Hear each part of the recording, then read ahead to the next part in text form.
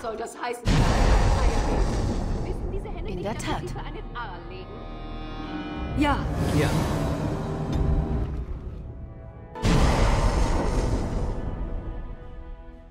Ja.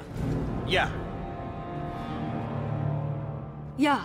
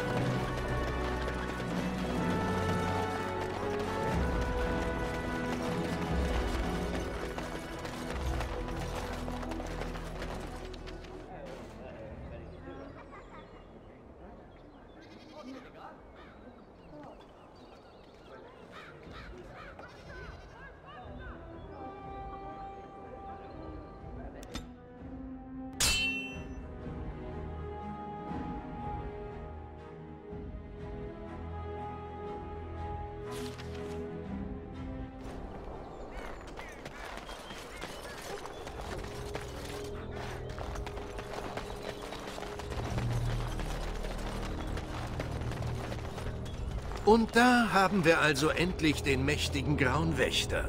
Die Krähen entbieten euch wieder einmal ihre Grüße. Sie haben also euch geschickt, Taliesin. Oder habt ihr euch freiwillig gemeldet? Natürlich freiwillig. Als ich hörte, der große Saffron hat sich von uns abgewandt, musste ich es einfach mit eigenen Augen sehen. Ist das so? Nun, hier bin ich. In Fleisch und Blut. Ihr könnt mit mir zurückkehren, Saffron. Ich kenne eure Gründe und werfe euch nichts vor. Es ist nicht zu spät. Kommt und wir denken uns eine Ausrede aus. Jeder macht mal einen Fehler.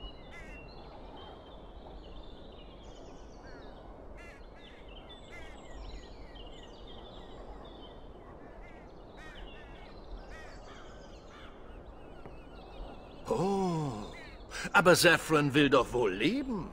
Ich denke, ich werde schon zurechtkommen, Taliesin. Es tut mir leid, alter Freund. Aber die Antwort ist nein. Ich komme nicht zurück. Und ihr hättet in Antiva bleiben sollen.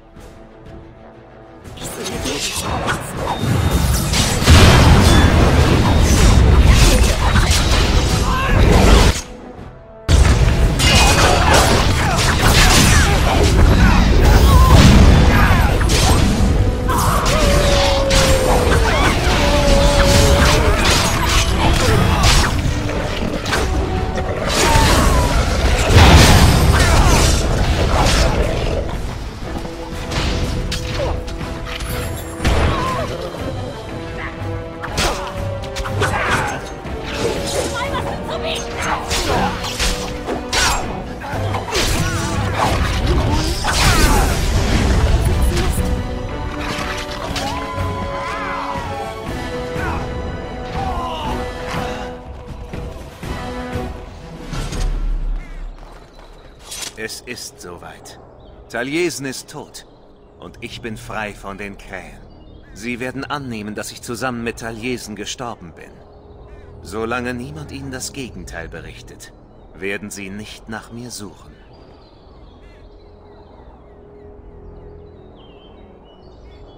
Sehr gut sogar. Darauf hatte ich gehofft, seit ihr beschlossen habt, mich nicht zu töten. Ich könnte jetzt vermutlich gehen, wenn ich das wollte.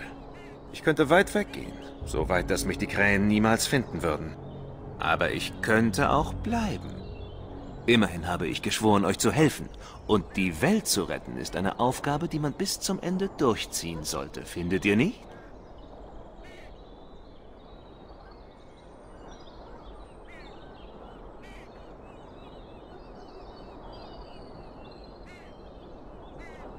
Dann werde ich bleiben. Ich halte zu euch bis zum Schluss. Sofern ihr nicht vorher meiner überdrüssig werdet. Oder ich sterbe. Oder ihr sterbt. Wie auch immer. Widmen wir uns also wieder der aktuellen Aufgabe. Es gibt doch sicher noch viel zu tun.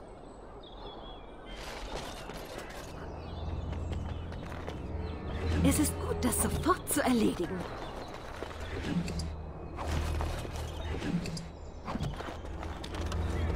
Soll ich euch einen Stuhl holen? Damit ihr mir nicht länger im Nacken sitzen müsst?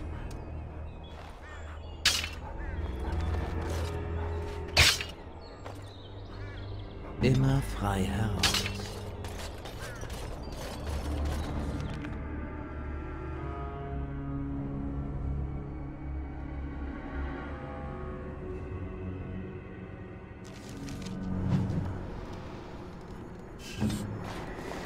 Warum nennen Sie das ein Stundenhotel? Das dauert doch keine Stunde, oder doch?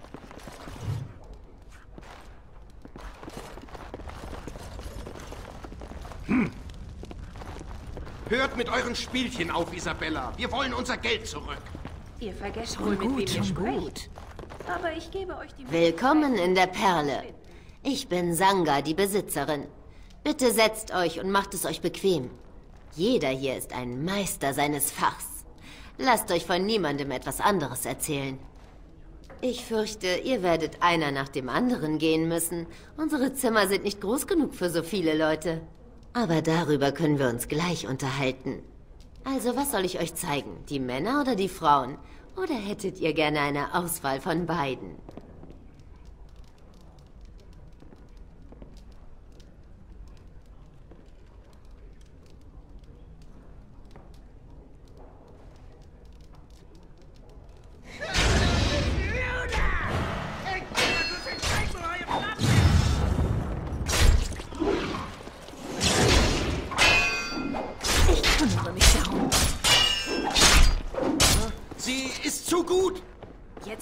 Verschwindet und seid dankbar, dass ich nur euer Gold genommen habe. Idioten.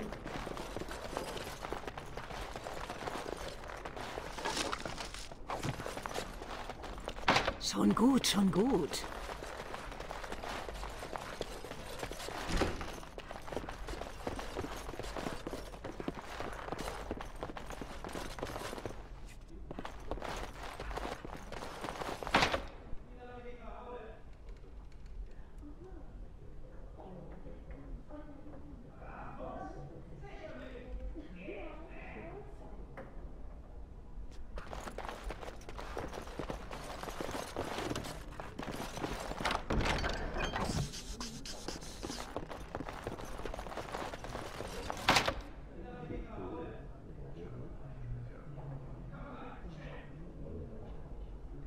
Ich kümmere mich darum.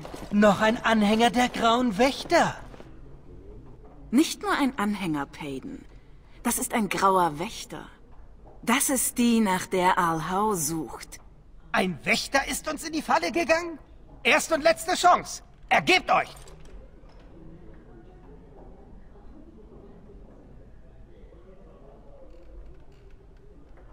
Das glaube ich euch sogar.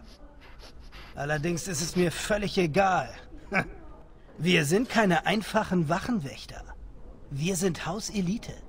Chevra, Tennant und Javi, lasst uns gemeinsam einen Wächter töten. Ah!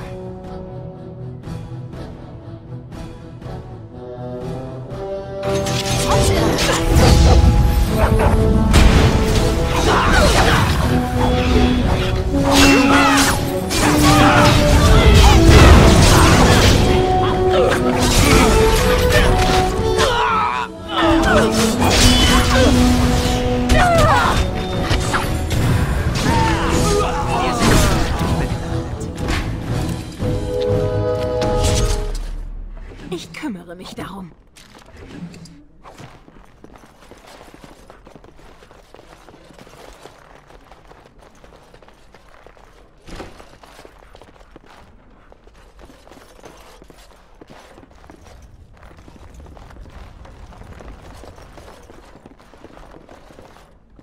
Wen haben wir denn hier? Wollt ihr euch entschuldigen, dass ihr mich ohne mein Gemahl zurückgelassen habt und dann spurlos verschwunden seid? Ihr wisst, dass es rein geschäftlich war, Isabella. Und wie ich sehe, habt auch ihr davon profitiert. Ihr habt das Schiff geerbt, nehme ich an. Ich habe den schmierigen Bastard nie gemocht. Und die Sirene behandelt mich deutlich besser als ihn.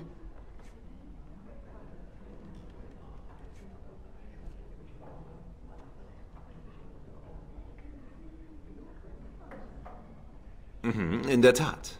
Das hier ist Isabella, die Königin der östlichen Meere und schärfste Klinge in ganz Lomarin. Und ihr, meine liebe Isabella, werdet es zweifellos amüsant finden, dass ich mit einem grauen Wächter reise. Ein grauer Wächter? Entzückend.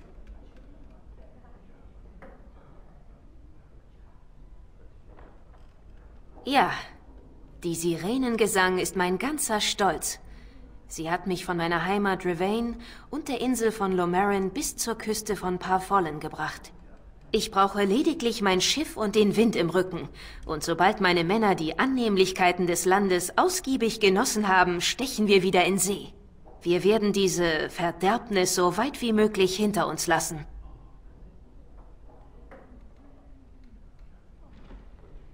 So wie ich das sehe, kann ich weit genug fortsegeln, selbst bis zur anderen Seite des fernen Anderfels. Die See wird für sich selbst sorgen.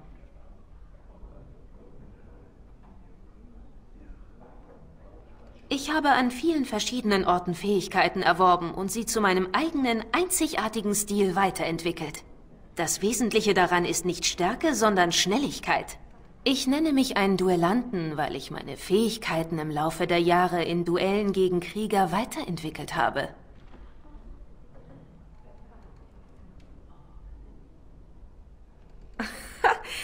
Eine ungewöhnliche Bitte von einer gefürchteten Streiterin gegen die dunkle Brut.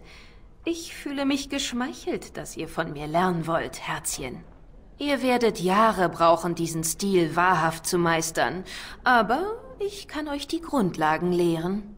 Allerdings möchte ich meine potenzielle Schülerin besser kennenlernen.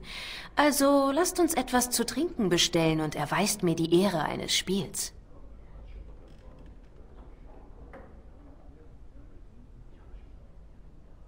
Habt ihr etwas Bestimmtes im Sinn?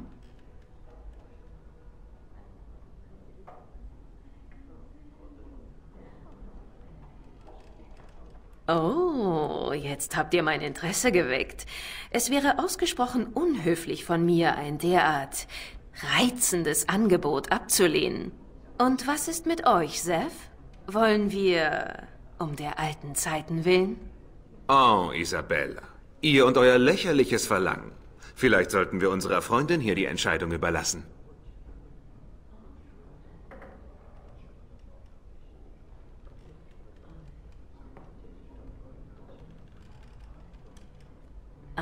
Ah, das weckt Erinnerungen. Kommt, mein Schiff ist unten bei den Docks und ich bin mir sicher, ihr werdet meine Kabinen ausgesprochen bequem finden.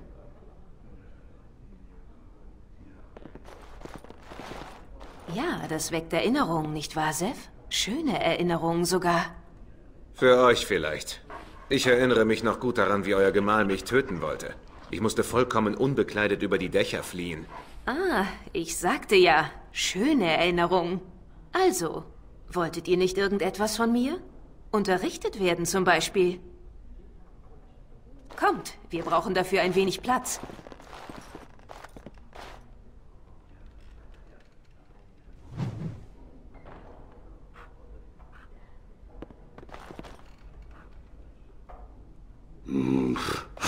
Ich habe euch nichts zu sagen. Ja, was? Ist es da, wo ihr herkommt, üblich, völlig Fremde misstrauisch zu beäugen?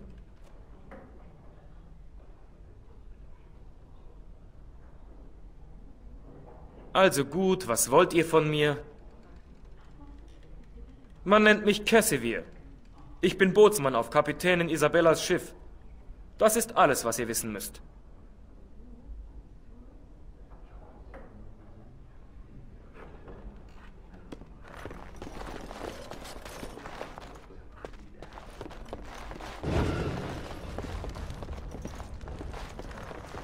Schon gut, schon gut.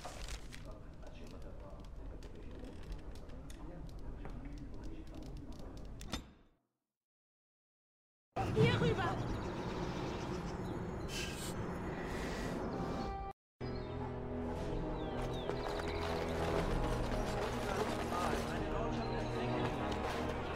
Der Dienstboteneingang ist auf der anderen Seite des Hauses. Wir müssen erst an diesen Leuten vorbei. Und ganz vorsichtig, Al Hau ist da drin. Das Anwesen muss renoviert werden, aber die Zahlungsmoral des neuen Arls lässt zu wünschen übrig. Ich werde direkt hinter euch sein. Nein! Die Handwerkshalle der Tischler hat jetzt genug von hausüberfüllten Terminkalender. Wir lassen uns nicht mehr abweisen. Das gilt auch für die Steinmetzen. Schon gut, schon gut. Seine Lordschaft hat viel mit dem Regenten zu besprechen. Sie werden mich nicht kommen sehen.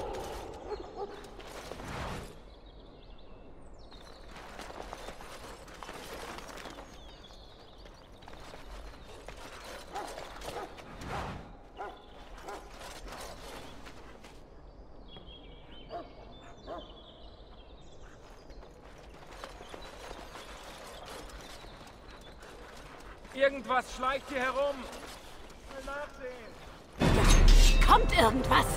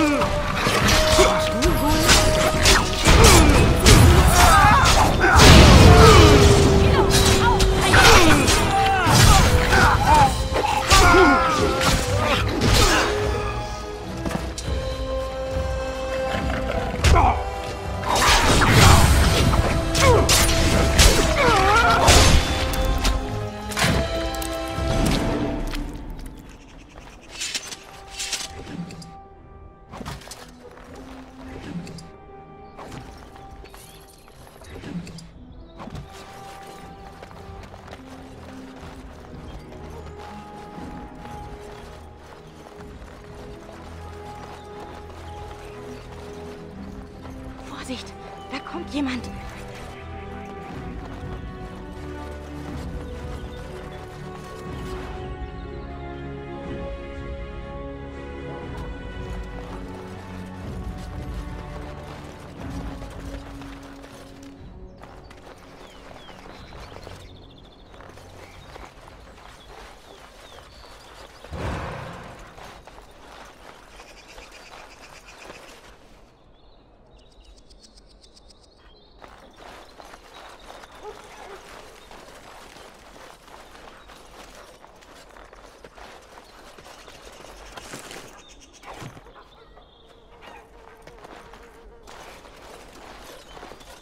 Kann die Wachen ablenken, aber ihr müsst schnell sein. Rasch, meine Herrin hat nicht viel Zeit.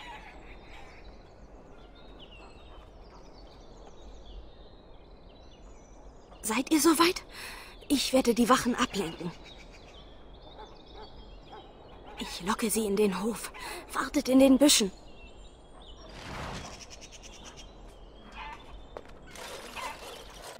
Oh, ihr müsst kommen. Ich habe etwas gesehen am Brunnen. Dunkle Brut, fürchte ich. Dunkle Brut? Sie werden uns alle nach unten ziehen und auffressen. Sollen wir Hilfe anfordern? Bist du völlig bescheuert? Hilfe anfordern? Damit wir dastehen wie furchtsame kleine Mädchen? Nur wegen eines klingenohrigen Frauenzimmers? Sie werden uns bei lebendigem Leib auffressen. Bitte holt Hilfe. Aber wenn da etwas ist und wir nicht Alarm schlagen, stehen wir noch viel schlechter da.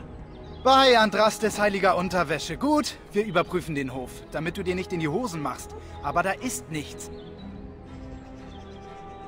Danke. Oh, es war hier drüben. Schnell!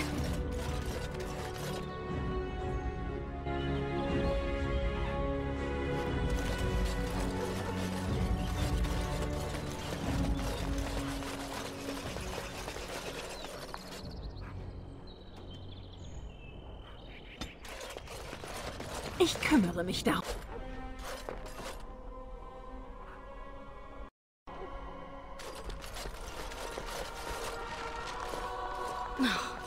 Es hat ewig gedauert, die beiden loszuwerden. Ihr müsst jetzt vorsichtig sein. Die Diener sehen sich jemanden in Uniform nicht genau an. Für einen Koch sehen alle Wachen gleich aus. Aber versucht trotzdem nicht aufzufallen. Die meisten Wachen sind neu und werden nicht sofort erkennen, dass ihr nicht dazugehört. Haltet euch besser von allen fern und fallt nicht auf. In einem Gästezimmer an der Haupthalle. Andraste leite uns.